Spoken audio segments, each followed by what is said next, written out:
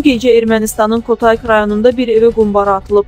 Oxu24.com erməni mediasına istinadən xəbər verir ki, ev sahibinin oğullarından biri baş nazir Nikol Paşinyanın mühafizəçilərindəndir.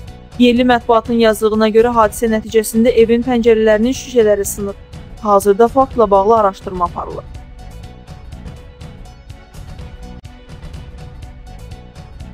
Fövqəladə Hallar Nazirliyinin 112 qaynar telefon xəttinə Masallı şəhəri Heydər Əliyev prospekti ünvanında yerləşən mebel fabrikində yanğın olması barədə məlumat daxil olub. Bu barədə Oxu24.com FHŞ-nə istinadən xəbər verir. Məlumat qəbul edilən kimi FHŞ-nin Dövlət Yanğından Mühafizə Xidmətinin yanğından mühafizə bölmələri çağırış üzrə cəlb olunub. İlkin məlumata əsasən yanğın 2 mərtəbəli binanın birinci mərtəbəsindədir. Hal-hazırda yanğın söndürmə işləri davam etdirilir.